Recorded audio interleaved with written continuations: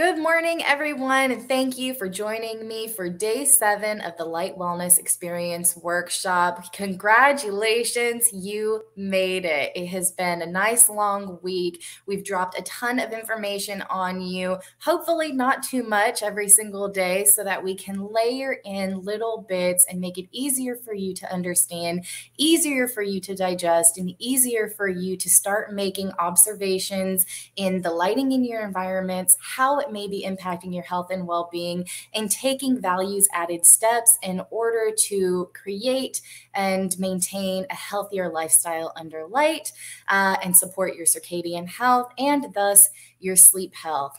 And uh, as you know, there's a ton of information out there right now that are, you know, very disconnected. We have articles about sleep health and how to tend to sleep hygiene. We have articles about blue light at night and, you know, the risk of using uh, electrical devices. We have articles about natural daylight in the morning and how much you should get, right? But it's all just little drips of information and it can be very difficult to connect those dots. And what we've realized over the last 20 years, roughly, right, is that those dots are very much connected by light and very specific lighting wavelengths. So if you've been joining us, thank you so much. Um, live, it's wonderful participation. I've also seen a lot of you join us in our recording. So if you're watching as a recording, remember all of these recordings will stay up until uh, 11 a.m. Eastern Standard Time on December 18th in order to make sure that uh, if you're having a busy schedule and you can't make the live sessions, um, or if you're in an advanced time zone, you have an opportunity to watch them at, at some point in time.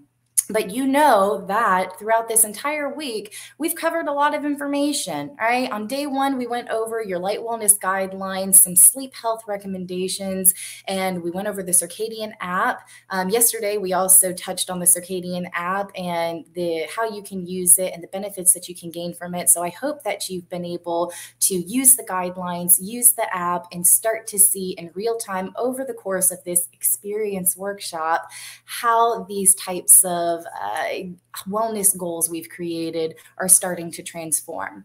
We've learned about circadian health in great detail and the pillars of wellness that sit on that foundation of circadian health and circadian rhythms, right? We've learned about the lighting metrics that are used in order to facilitate circadian responses and impact whether or not you can wake up and stay stimulated and productive and how you can use light to wind down and fall asleep.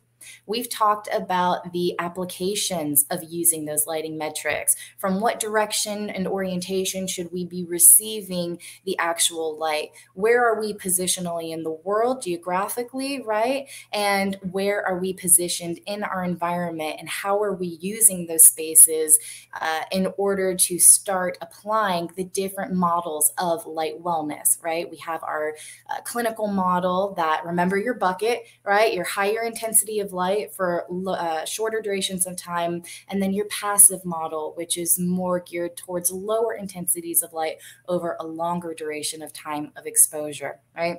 We talked about wellness ROI and how to get the most return on investment from that value of investment, right? That return of investment are the financial indicators that usually are precipitated by your value of investment which are non financial indicators, right? They're your quality of life indicators, productivity, wellness scores, right?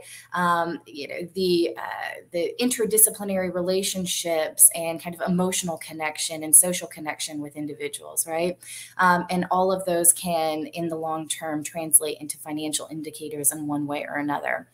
And uh, yesterday, we had a wonderful a conversation with Anna Hernando about how physical and occupational therapists specifically can start to not only take ownership and responsibility in a personal caretaking way, but to then have that experience to better pay it forward and start integrating it into existing practices or branching off and developing a new uh, therapy practice in a holistic world.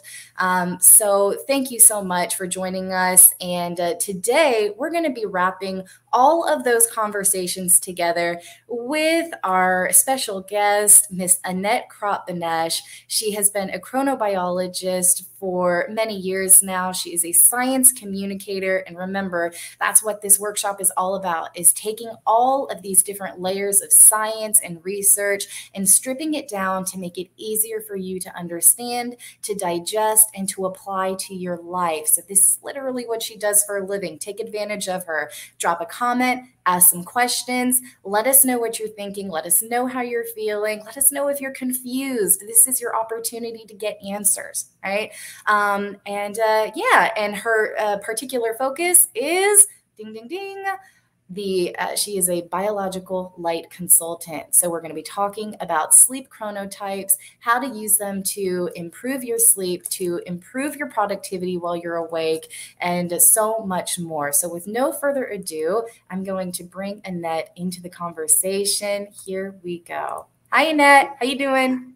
Hello. I'm fine. How are you I'm doing so good. I'm so excited that you're joining us for this last annuals or yearly session of the Light Wellness Experience Workshop. I think that you are going to be an incredible contributor to the conversation and uh, kind of closing out the year for us. So I'm very, very happy to have you join us. Thank you. I'm happy to be here. Very cool. Very cool. So, um, why don't you go ahead and introduce yourself a little bit? Let us know your history, your background, what you do, and we'll kind of jump into the nitty gritty of all of these details, pulling the workshop together. Um, well, who am I? I? I started out as a biologist and I was always interested in animals. And during my study, I found out that we're having an internal clock and that this clock is fundamental to our life. And no matter if you look at an animal or plant or bacteria, or of course on us, because we are just animals, this clock is really, really important and um, really interesting and it fascinated me. And I worked on animals for quite a while. My topic in my PhD was actually um, when do koalas sleep and what do they do when they don't sleep? Which was um, a very sleepy experience, I have to say. But still quite interesting because I covered lots of the uh, timing factors, what we call Zeitgebers, and we will talk about them today.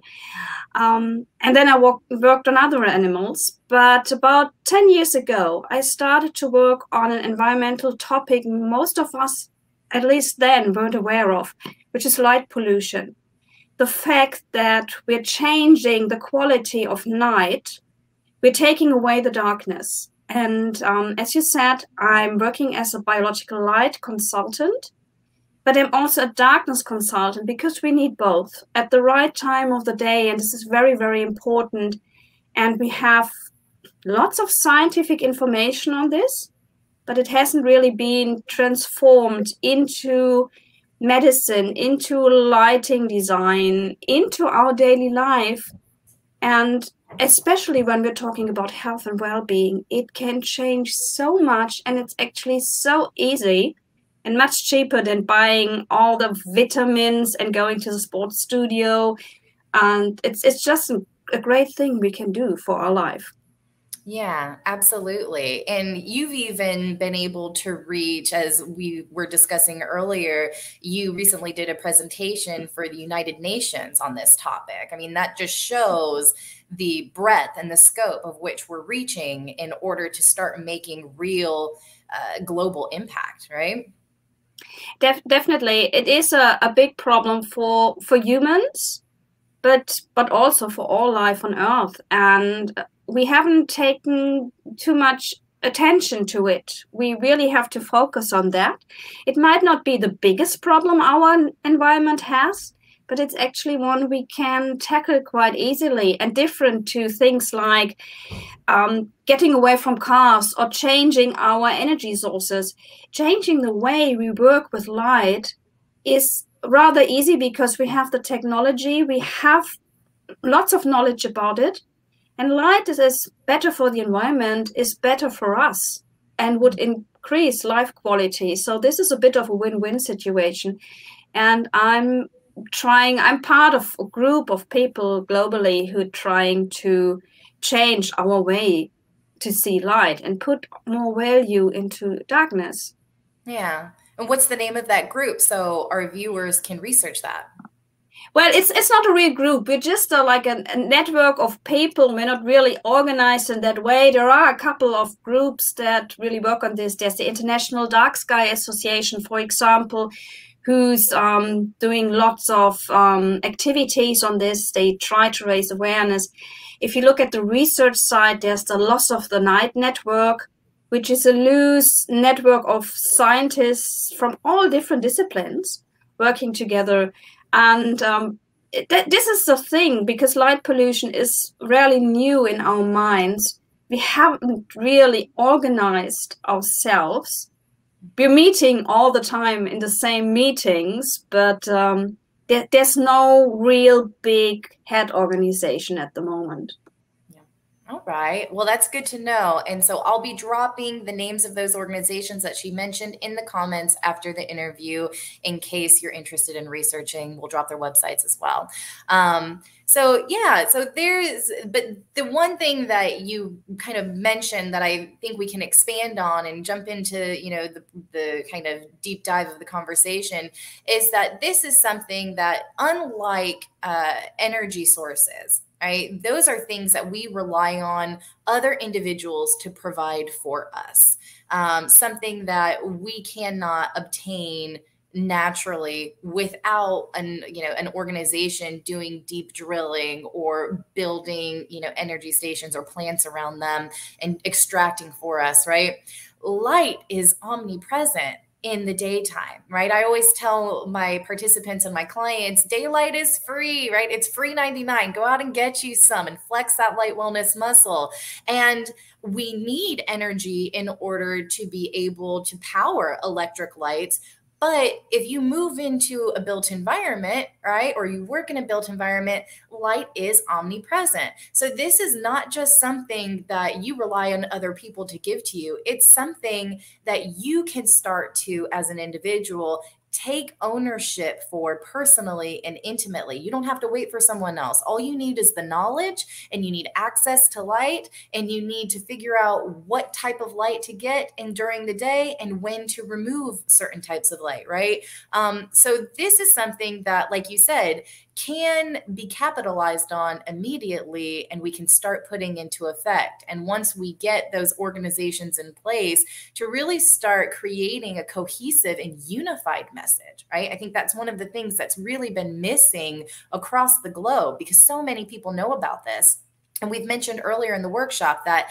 as we and you and I have talked about this that you know as research comes out and more and more is known about circadian health, more is known about sky pollution, more is known about light and its impact on both, right? That we are we kind of keep that information close to ourselves and in our inner circles because we want to figure out a solution before we send it out to the masses. Um, but that's not really how technology has ever worked right? So why are we harboring this information? Why aren't we disseminating it as we are able to discover it? And then learn more about how it's being applied iterative, uh, iteratively, if you will, right?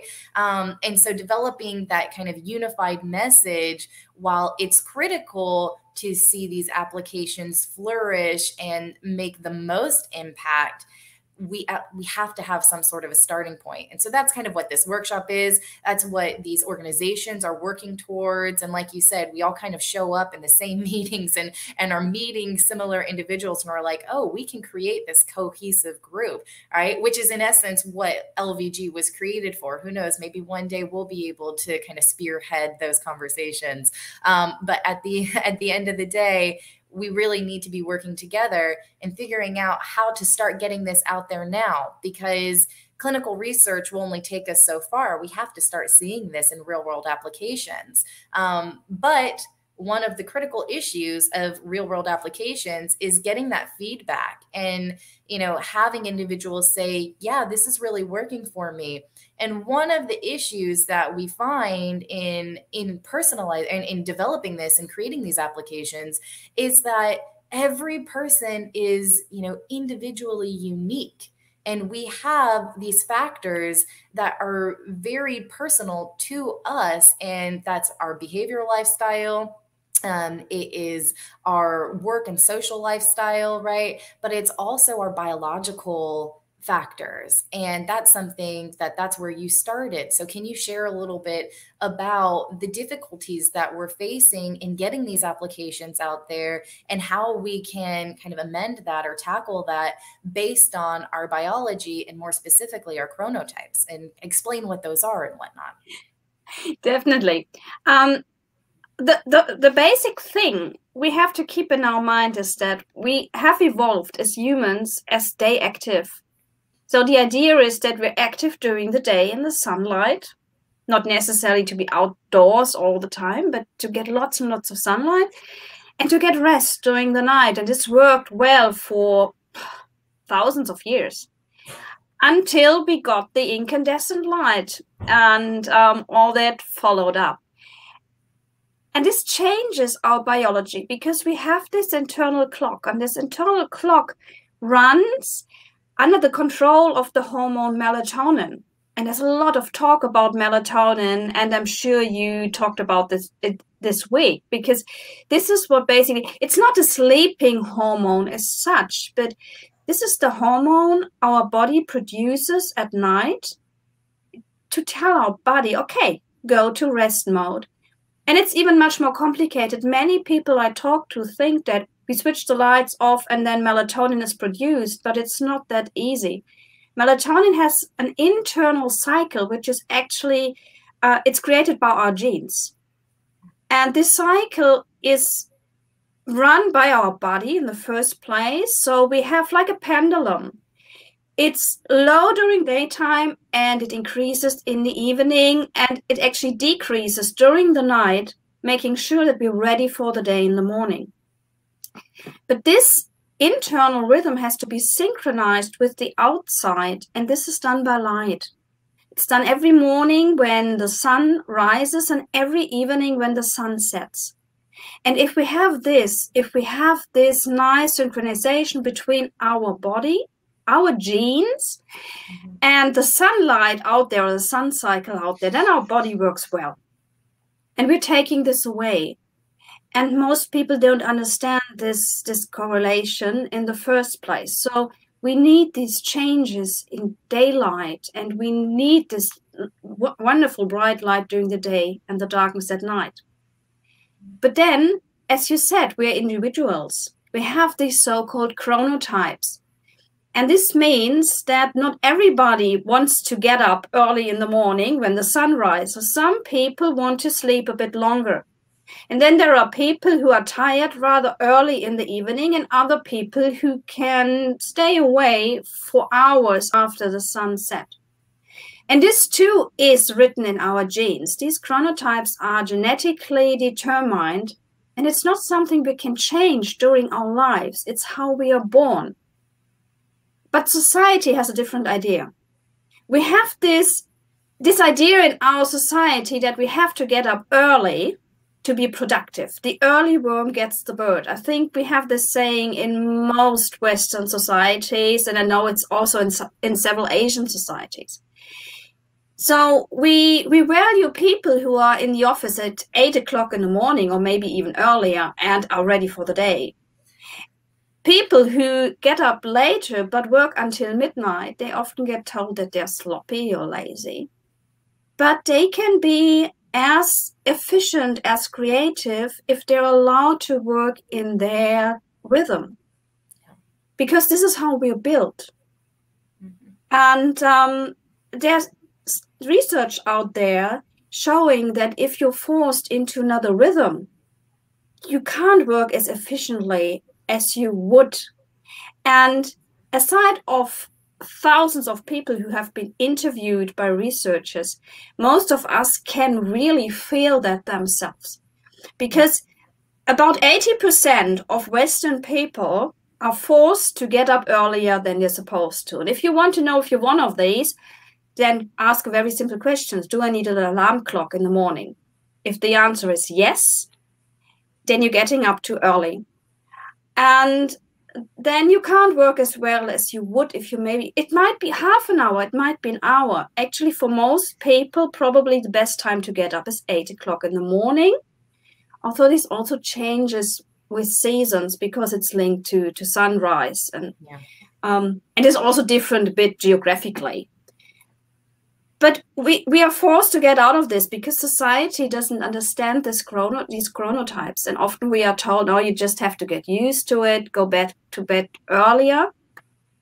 But then if you're not an early chronotype you can go to bed at nine o'clock but you probably won't uh, fall asleep because no matter what you do your body hasn't started to produce melatonin yeah. and you can't go to sleep. You can't force yourself to sleep. So it's a waste of time. You might even fall asleep later because your body basically rebels against it. And you need you, you're losing activity time to get tired again. Mm-hmm. and this is an issue we're having. And only few people are aware of this. And most people don't know what good sleep is and how it feels to be well rested because starting in childhood, we are forced to get up too early. And it's even worse for teenagers actually than for adults. And all people who say, I would like to sleep until eight or nine, I told, oh, yeah, you're a late riser. But actually, the majority of people would like to do that. Yeah and they've just trained themselves right? They're forcing themselves to wake up. They're forcing themselves to fall asleep at an at an earlier time. And when you're forcing yourself usually you're in some way applying some sort of synthetic means to be able to do so. You might be taking a sleeping pill. Some people rely on you know other means. And, and we've talked about the impact of you know using over the counter sleeping pills or alcohol or even narcotics right? And what you're doing to your body furthermore.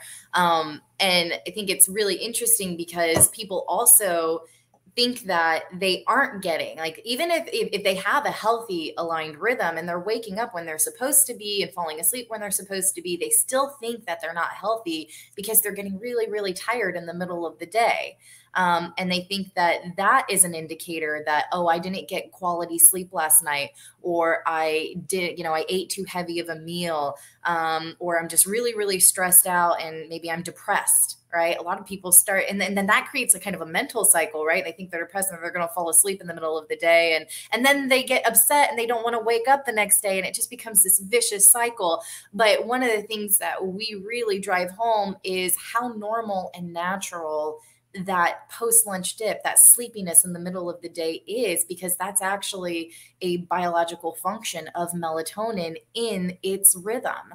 Um, and so, you know, I'd love for you to talk about that a little bit and kind of uh, key, maybe elaborate more on the sleep epidemic that we're seeing for uh, for middle schoolers and teenagers and uh, and how that might be mitigated or how we can start to correct that. Um, because like you said it's a problem and they need you know we we have this politically correct world where we say we have a recommended number of sleep hours. And we do that because we don't want to force anyone you know we don't want to force anyone's hand. We understand that our social uh, kind of constructs and our culture is designed to to function in a certain way right? You don't want to be the person that kind of raises your voice. But they're not just recommendations. When it comes to health and biology it's really requirement if you want to be you know as effective and productive in your life and maintain proper mental and emotional health.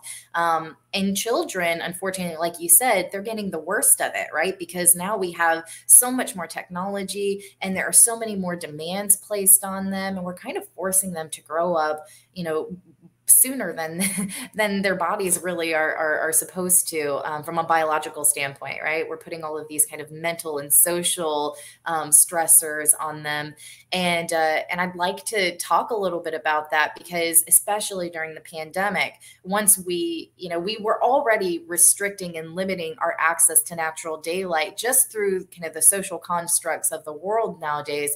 But then when the pandemic happened everyone got scared and they didn't want to go outside or it became so easy to just sleep in and not open the blinds, right? And get that extra one to two hours of sleep. And then, and then, you know, depression, which is very much linked to circadian disruption, starts to seep in. And again, that's that vicious cycle where it gets harder and harder to get out of bed and get natural light. And we've seen a spike in mental health disorders um, being diagnosed, particularly in younger age groups. So, you know, would you would you comment on that a bit and kind of pull that conversation together for us? Yes. Um, also, actually, we we've been seeing different things going in different directions. Okay. One thing you mentioned, and this was pretty much depending also on the country and the measurements against uh, the, the or in terms of the pandemic, they were different. Um, here in Germany, for example, we were allowed to go outside. Well, not in the first, I think, one or two months. They, they, they said go outside, but please don't sit on the grass. Um, but then they realize that it's not that dangerous to go outside and it's much more dangerous to stay indoors. And if you want to meet, do this, especially in summer. I think this helped a lot because, as you said, we need the sunlight, and there are very clear um, relations between the amount of sunlight we're getting and depression. And if we look into the treatment of depression, something really interesting is going on there. For a long time, we use light therapy. And light therapy works as well, maybe even better than taking antidepressants with much less side effects because we're getting the light at the right time of day. And this is also something that has been discussed in nursery homes and hospitals. Lighting there is usually horrible. It's too dark during the day and it never gets dark at night. What has been shown in several studies from several sites is that the time you spend in a hospital and your chances of survival are higher if you're getting lots and lots of daylight, if you're close to the window, and if your window faces the south side. So this is a bit of a life hack. If you have any any way to choose your hospital bed, try to get to to the sunlight as much as possible, yeah. and, or sit at the window, get this sunlight, because it's much better than anything you can get in there. Yeah. And the same is true for nursery homes they they need more light especially elderly people. Their melatonin production isn't as good anymore as it is in in younger people so they need more light during the day. But they're spending the whole day in, indoors which has many many problems but light is one big issue here so they need to sit at the window or much better get out because they need the fresh air and, and all these things and we yeah. have to take this into account if we are designing such places. As is true for all workspaces and school, lighting in workspaces and especially in schools is it's horrible. They they just use some cheap light, mm-hmm. and this has to change. I think it's changing a lot in offices because we more and more understand these circadian rhythms. We understand that we need bright light to be able to concentrate, and it's also an economical thing there is the idea that if my if I use bright light, my people will work more and are more efficient, which is true to a certain degree. We have to find the right balance in it. We we need times of dimmer, warmer light, and then we need times with bright lights. Let's be honest, on a really bright sunny day, we usually sooner or later go to the shade because we want we, we, we want we don't want Reprieve. this all the time. Yeah. So we have the same in the offices, but in schools, it's still a disaster. It's so ah, gloomy in there.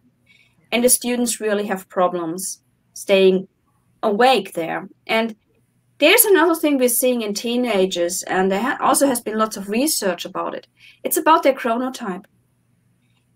our genes determine whether we're an early or late chronotype. And actually, there's some other chronotypes, like people who are active during the day and during the afternoon, but have like a, a dip around noon. And there are the people who really, really should have their siesta or power nap or however you call it. And this is actually a really good thing because indeed our melatonin levels they rise around noon if we're well synchronized, this is absolutely normal. So if you're just a bit tired or you want to have some rest around noon, that's exactly what your body is built to do. That's fine. Especially if you're getting a good amount of sleep at night. So this do this. Enjoy this. Yeah. It's, lean it's into that nap. Lean into the dip, right? Yeah. I'm I'm a an excited napper. I love my my afternoon nap, and I'm not a power napper. I I need a bit more time, um, but I enjoy that. I really enjoy that, and after this, I'm much more productive and I feel much better. So yeah. do this definitely. Yeah. And then after your nap, go out and get some daylight if you can, right? Exactly. Suppress any remnant melatonin in your system and, you know, so get give your body that biomarker to say, hey, it's time for those day active genes to kick back into high gear, right? Definitely. Or even you can even have this this midday nap in the sun. Yes. I encourage that all the time. Actually, in the Light Wellness guidelines, I think I sent you the package. I said I highly encourage, you know, bright midday snoozes, sleep in the sun. It's awesome. And I know being a girl raised in the South in Florida, close to beaches, I mean, we would go out and we would tan, which I know isn't always the best, but I would always fall asleep laying in the sun. You know, you had to make sure you had lots of sun sunscreen on so that you didn't burn. But yeah, bright midday snoozes, lean into yeah. it.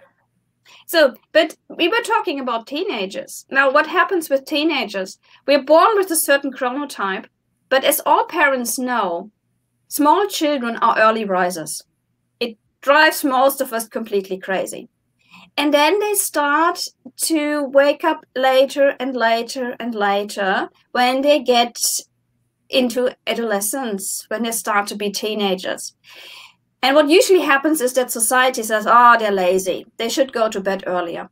But what really happens is that their physiology changes.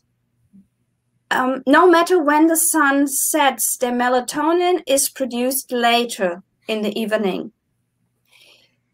Usually, if you would, most studies say after 10 o'clock, again, depending on where you are. So even if you send them to bed at nine, the body isn't prepared to fall asleep. They just can't fall asleep. They will lie awake. And this is what many teenagers say. And then uh, we blame electronic devices for this, which is true to a certain amount. Why? Electronic devices have lots and lots of blue light. And our circadian system is particularly sensitive to blue light.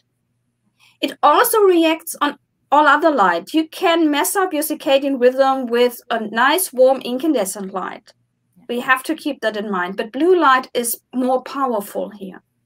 So you have this teenager who isn't tired anyway because his body clock says it's still time to be active and out and about. What do they do? They sit in front of the computer or they check emails or they watch a movie or maybe they're even learning um, I mean, some of them are really they, they want to to use the time. They're not yeah. all lazy.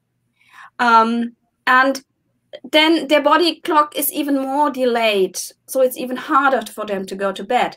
But even if they would not use the electronic light, or if they would uh, avoid blue light, they would get tired later at, at night. But they need this time in the morning for sleep now they have to get up at six, at five. I know teenagers who have to get up at four o'clock in the morning to be at school in time. Yeah. For them, even eight o'clock is still within their body sleep time, within their natural physiological sleeping time.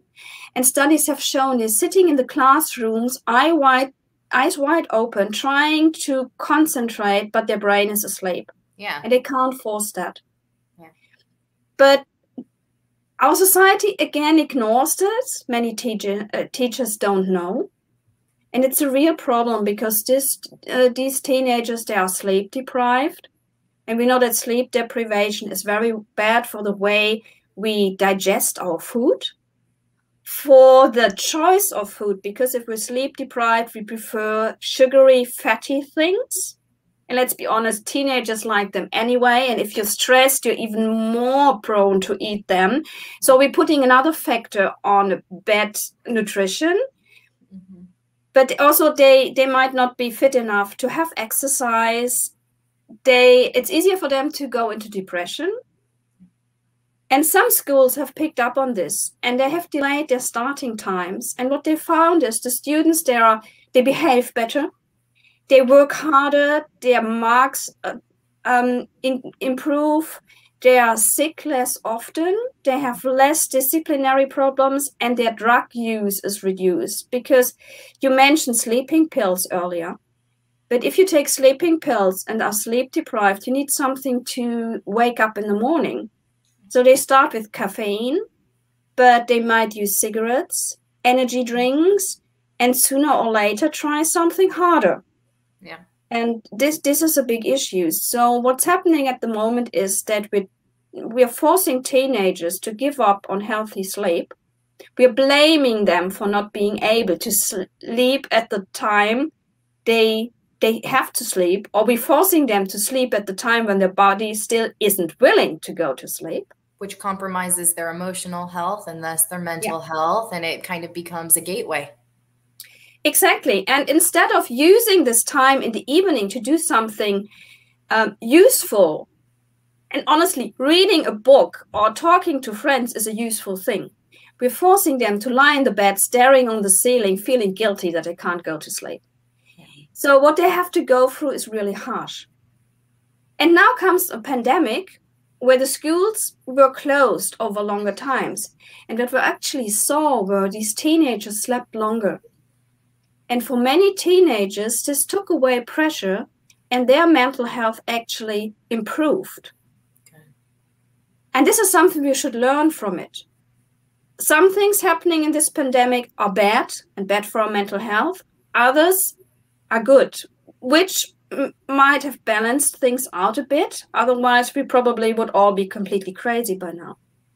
But what we should have learned by this is we need this sleep in the morning, and many adults need it too. Many people in home office they use this extra hour. They usually were commute, commuting. Um, they use them for for sleeping, not because they're lazy, but because it's healthy for their body. So what we should do in our society is we should really look at these chronotypes, how they change in life, and adjust our working schedules to our biology, not the other way around. This would be healthier for us. And if you're thinking in terms of money, we would save heaps of money with this because people would be more productive, they would be healthier, the whole society would run better we just have to overcome this idea that we have to get up at six o'clock in the morning. Yeah, in order to be more productive, because productivity, people think you need to pack more hours in a day of work to have more productivity. When really, if our body was able to function at its fullest capacity, right, we would be more productive. You're going to get more work out of a well rested, mentally healthy uh, individual in three hours than a, a, poorly rested, or as we say, a poor sleep health employee um, who, you know, over the course of uh, an eight hour day, or now maybe a 10 hour day, right?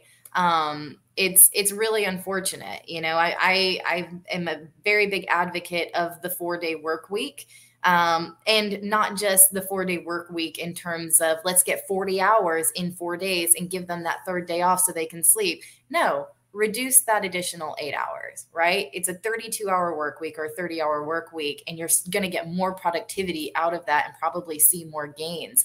And you're also probably going to be wasting less money on employee expenses because instead of someone taking that extra day off and getting paid for not working that PTO, right? That money is still actually going into their to their salary. And you're going to they're going to be productive during that time. And the time that's allocated for them to be off you're not essentially paying them for that time right? So um, it's it's interesting how small business owners and especially large corporations right? Because a small business owner might have 10 employees or something um, I think I think kind of the if you're looking at Forbes or or Entrepreneur Magazine, they they uh, in, indicate that I think a small business uh, is 50 employees or less, and like a medium sized business is like 50 to 100. I'm like, that sounds like a large business to me, right?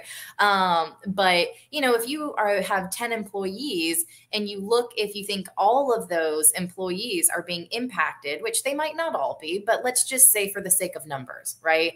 All 10 employees have poor sleep health, and so you're spending on average, you know, research, evidence based research has indicated over the course of the last seven to you know 12 years that we're spending annually on average roughly 4,500 to $6,500 um, in you know kind of health expenses, if you will, paid time off and whatnot on poor sleep health employees versus around five hundred dollars for a high sleep health employee. So if you multiply that, say $5,000 times 10 people, right? That's $50,000 that went down the drain. You multiply that by 100, that's, you know, 100 employees, that's $500,000, right? So that's a lot of wasted expense that could be used as, you know, capital or capital or expenses inside your company, right? It can be overhead expenses for other things and and growth and marketing, which then could produce more productivity, right? Because you're potentially bringing in more clients. And so we are scared to look at investing in maybe a hundred thousand dollar lighting system, right? If you have five, 100 employees and you know you might be wasting $300,000 a year on PTO, but we're scared to invest that 50 to 100 grand into a lighting system or to another sleep intervention inside a company that could offset that balance, right? And you're actually going to be saving and, and that savings, those savings happen annually. So it's not just like, oh, I'm I'm going to be saving this much one, you know, it's a one off. No, every single year you're going to be saving that much money by this one-time investment, right? And so it's it's a very compelling compelling conversation when you're actually able to talk about those financial indicators and the return on investment. But because of the individuality of all of the occupants, right? Because of an, um, a company with 500 employees or 100 employees, right? Their lighting designers and architects are kind of scared to have that conversation because they feel so much responsibility and so much weight to personalize every aspect of the, of the design for every personalized aspect of each unique individual. And uh, and there's a there's a better way. There's actually an easier way to start looking at how to program spaces in order to make the most value for your light wellness investment. It can be a nested environment. It can be programming certain spaces in that don't already exist or reallocating spaces for bright light therapy or dark light therapy, or transitioning and overhauling your office for how it's programmed right now. Where I know one of the things we've discussed in kind of the history of developing the corporate interior is how we used to have our higher paid employees um, who have more exp- uh, uh, you know expendable income in order to create healthier lifestyles for themselves. They get the corner offices with all of the windows, and so they're getting healthier. They've got a lot of money, and they can invest it into their life. And then we have our minion workers that are packed into the core of the building who aren't getting productivity and are losing money, um, and may even lose their job because they're losing productivity. And so that thus you know pushes them into kind of a lower um, income bracket pocket, if you will. And that just makes their quality of life that much harder to attain from a health standpoint, right? So, kind of restructuring where we position workers based on you know sun sun access right? The sun rises in the east and sets on the west right? Maybe maybe we divide our spaces now where if you are a business that runs full time maybe the majority of your you know day shift workers are um, located on the eastern side of a building and the majority of your night shift workers it's not always possible right? But there's different ways to start are, are on the west side of the building right there's ways that we can start. It's not going to work in a hospital setting, but it might work in a manufacturing plant, right? Um, and when you're looking at where a storage facility is for a manufacturing plant versus where administrative or human resources are placed, right? Like, how are we actually programming these spaces for their use? And how are you writing in as a business owner? Or a teacher um, or some sort of district representative, right? Uh, or even a municipality, how are we looking at how we can structure in schedules based on individuals' chronotypes? Are we able to create flexible scheduling where they can clock in when it fits their when it fits their sleep health? Right. And then they can clock out as well. Um, and really give them that autonomy in a sense to be able to choose their schedule. And uh, and i think it, it can be difficult because sometimes certain organizations might need to keep administrative resources intact 24 7 um, in order to maintain you know the productivity and maintain uh, work you know on-site operations if you will. Um, but you know especially now we're seeing this transition during the pandemic that businesses can continue to run and thrive and grow with remote workers so we're seeing people offsite, right? And I know you've probably seen on LinkedIn all of the polls. All right, what would you prefer? we are 18 months, two years into this pandemic. What would you prefer? 100% on site, 50% on site, and 50% remote, or 100% remote? What's your preference, right? And I think that now that we're actually able to see this in effect, that people are really looking at and reevaluating what's possible. And that's the first step to opening up this conversation of how we can actually start reprogramming and structuring our spaces and how they're used to get the most benefit out of natural daylight and in which spaces we need to create big gestures for electric lighting strategies rather than feeling the weight of providing it all over a space and really eating into a client's potential renovation budget, right? Yes, well, different aspects you, have mentioned now, like there, there, are actually companies, especially um, I know this from startup companies, mm-hmm. who got away from these fixed working hours, mm-hmm. and they're, they're saving office space, office space because there are people who are only coming in later in the day and some people come in in the morning. And i remember my time at university there was a real night shift. There were a couple of, of students and researchers who would always be there or only be there at night and they probably had all night uh, projects but they chose it that way. Yeah. so we have some um, flexibility there or the possibility and m- many companies do shift work. When shift work for your circadian system is a disaster and strictly speaking, we should avoid it wherever we can. There are some areas like in hospitals or police transport, we need it, but we should really, really assess if we should be willing to afford this at, in times in, in jobs where where it's not really necessary, like in, in the producing industry. Yeah. And this is something we really have to to think about and we really have to assess. Now, um, if we have to use shift shifts or working shifts, then we should check people's chronotype. And yes. usually we have three shifts during the day. So um, instead of just forcing everyone to work every three shifts, maybe we should ask people would you prefer the early shift, the night shift, the day shift, and see if we can basically take into account what chronotype people are because some people will be fine working at midnight mm-hmm. but they will be wasted if they have to work at six o'clock in the morning and other others will be happy to work at six o'clock in the morning. So why don't we take this into account? Um, this is some rethinking we we should we really should do. And i think that workspace and the atmosphere in work would really improve by this it would be interesting to see in the future if recruiters or rec- employment recruiter agencies kind of add that question inside their initial questionnaire. All right, what, you know, give them a sleep chronotype quiz and say, what sleep chronotype are you? And then start allocating positions that are for kind of evening or late night shift work for individuals that have a late night chronotype, right? And that might be kind of a starting point where we can start to really restructure that social construct. It's a very, a very simple, very simple step, very simple start. Okay, you're using a recruiter let's see what sleep chronotype you are and let's pull jobs that are going to match that for you rather than force you into jobs that may not right? Um, it would be you know kind of interesting to see if that's something that could happen.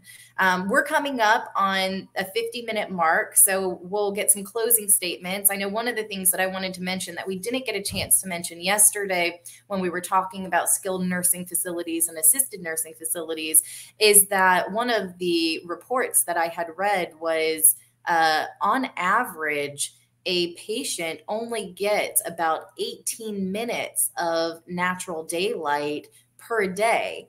Um, and usually that's from an indoor setting somewhere deeper you know into the environment not right immediately next to a window you know we've all seen those dreary pictures of individuals sitting in chairs or in wheelchairs in a room that has a lot of windows but they might not be facing the window or they're all facing each other to encourage you know communication and togetherness. So um so that's that's something that really, you know, kind of when I was first studying this, really impacted my thought process on programming spaces and just programming how we you know thinking about how we move throughout life. I know one of the one of the tips or suggestions that our holistic occupational therapist had said yesterday was to create a circulation path that requires patients to move you know, in a, a, certain orientation with the sun to get from point A to point B. So instead of just taking them, you know, any direction to get from their room to the cafeteria,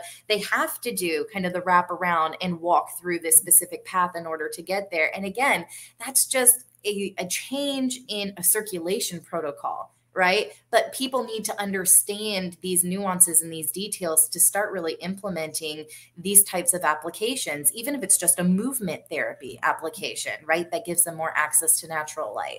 Um, so yeah, there's there's so much that can be done. There are so many conversations that need to be had, and I think that one of the more difficult conversations to have, but the most necessary conversation to have, because this is at the top of everybody's mind because it's required in life, is money the financial indicator. And if you can't have that conversation or you're not able to, um, it's going to make extending uh, these these light and health conversations, these you know chronotype conversations, these sleep health intervention uh, conversations, much more difficult to push forward, and it's going to take a lot longer for us to see these types of practical applications realized. So, if anyone takes anything away from this workshop, there's so much you should take away from this workshop, but one of the things that you really should take away from this workshop as an individual who's advocating for yourself for the people who depend on you inside your office or your workspace or inside, you know, a hospital with a doctor. Um, we encourage you to have these conversations, but you need to understand the the return on investment right from a health standpoint and from a financial standpoint which many times from a health standpoint it burgeons and uh, and leads into you know financial savings and financial indicators so so take away from this conversation that there's a lot that needs to be done in order to make sure that we as a society are meeting the needs of our sleep health remember in the advent of electric lighting, we didn't know what we were taking away from our bodies, right? And we didn't know that because we didn't understand our bodies this intrinsically and this intimately. We didn't understand the connections and the rhythms and the patterns.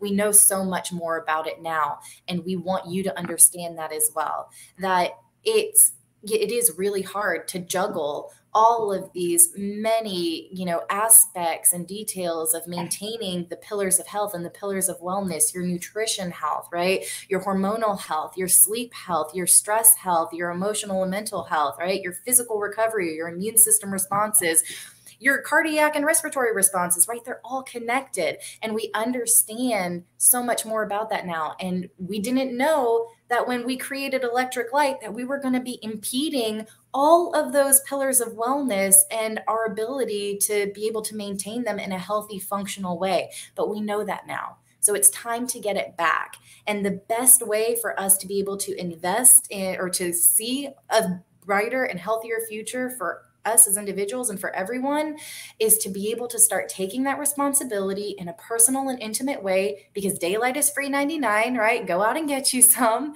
And uh, and understand you don't have to rely on someone else immediately right now. And if you're seeing an issue with or if you're seeing that you don't have the type of environment that lends itself to supporting your circadian health that rather is impeding it right? Or you don't have a lifestyle where you're actually capable of attaining you know a healthy aligned circadian rhythm. What values added steps can you take in order to be able to transition that and change that circumstance for yourself. And when you're able to understand how to do that for yourself, it makes it that much easier for you to pay this message forward and start impacting the lives of others. Um, so, you know, do you have any final thoughts now that we're kind of closing down the conversation, Annette? What I, what I hope that everyone takes away from today is to to just follow up on what you said is we, we really have this this internal clock, this body clock, which is fundamental to our life. And we need that. And we need this change of bright days and dark nights. This is part of us. And when I talk about to people about healthy lifestyle, they tell me about exercise, about food, um, but they don't talk about light. They don't talk about sleep. This is something we don't value because maybe because light is cheap it's really really hard to sell daylight as an architect because it's there. I mean imagine that there are offices without windows. This shouldn't be every office must have a window. Everything else shouldn't be acceptable. The access to sunlight and the access to to natural darkness should be a human right. In stylized. yes, we, we we haven't we haven't reached that point, but it should be something we should all fight for, and we should go and say, I have a right to this because this this is part of a healthy lifestyle, and we need this. And as you've said a couple of times now, it increases the productivity. So even if you're just looking at numbers and money, th- this is really something to consider.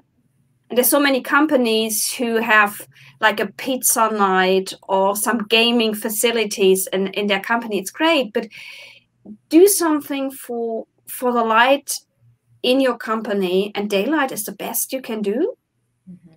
And if you can't have daylight and at a certain time you just have to use electric light because they're gloomy days or in winter the sun sets too early then use good light. And when you mention individuality, give people the opportunity to choose their light, their light levels.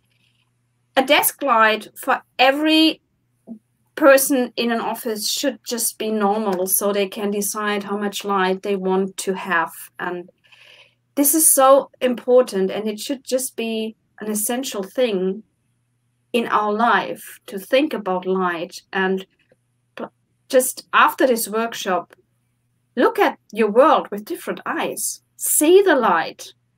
Feel the light and understand what this light is doing to you because it's immensely important for health. And the great thing is sunlight is cheap. Just go out for you don't have to be out for hours but a couple of minutes can do a lot of good and a lunch break with some sunlight even if it's a cloudy day yeah. it's it's a great thing to to wake up to feel better to find it easier to work and yeah. you will be more efficient afterwards Absolutely. And uh, Annette just touched on a, an important point that, you know, we've reiterated throughout the workshop that even if you can't find the time to go out for one extended consecutive session, you can stack those light exposures and stack those doses if you will right? Go out get a little bit in the morning get and take a light break you know for 5 to 10 minutes in the late morning take another break in the afternoon and kind of keep gaining access to natural healthy light. And i know we say get good light get healthy light. What does that mean watch all of the videos from the workshop. And if you if you missed the videos from the workshop join us again in 8 to 10 weeks when we're going to be bringing this information to you all over again because as you know re- reiteration uh, is you know is the mother of uh, learning and education, if you will. So, um, you know, that's especially information that can be as complex as this. Remember, we're not just talking about one thing, we're talking about a lot of different topics and how they come together and how they're all hinged underneath this very critical critical component that is natural white daylight and a very specific spectrum of that natural white daylight. So if you are confused at the end of this or even if you understand it but you still don't quite know how to apply it or how to go out and get it or if you just want a little bit more support and you know in developing these practices for yourself reach out. I would love to help you. Annette would love to help you. Um, this is what we do. And we do this because we want to see you be able to reach the your you know your physical mental and emotional peaks so that you can become the strongest healthiest version of yourself that you were always meant to be right and that's what we were that's why you know that's what life was created, right? That's why we have this evolution under natural daylight. We weren't meant to be inside 24 um, 7. And sometimes we need to be for health reasons, right? For weather reasons. Is it rainy? Is it free? Is it below freezing? Um, and, you know, again, having a built environment is great, but we've created this occlusion to the natural, one of the most critical natural elements that helps to balance all of these other, you know, pillars of health that we keep juggling and we keep blaming old age. We have the adage of old age. Well, I know I'm getting older so I know that these aspects of, you know, my body and my health are starting to fail me. So I just have to, you know, exercise more. I have to eat better. I might have to take a pill here and there. And then by the time you're in your 70s or your 80s, you might be taking a dozen pills, right? And pharmaceuticals, as we know, all have side effects. Um, and so, you know, really stop and think okay, before I start blaming old age, why is old age occurring? Why are all of these aspects of my health and well-being starting to crumble? So it's harder for me to manage. I have to start thinking about all of these other health considerations in order to maintain proper health and well-being. Let's start with the foundation inside the fundamentals of wellness right? Our fundamentals are the foundation of circadian health the pillars that rest on it, and let's prevent all of the cracks in that foundation from tearing our whole building blocks down right? Um, so yeah, thank you, Annette, so much for all of this help and uh, reach out to either of us anytime. I'm going to be dropping Annette's contact information in the follow up post for today. Um, and yeah, we just want to see you become the biggest, best, brightest, strongest versions of yourselves and thus be able to pay it forward to the world so that we can have a stronger world in general, right? A healthier world. Um, that's the end goal. And it's going to take a lot of time, it's going to take a lot of commitment, and it's going to take a lot of education. So keep coming back because we're going to be giving you this information every eight to 10 weeks so you don't forget it, so that you always feel that you have someone supporting your education and supporting this aspect of transitioning your healthy life lifestyle. All right. So uh, thank you so much. And uh, I'll see you in about three months. Happy holidays. And always remember to live light-hearted. Take care. I'll see you soon. Bye.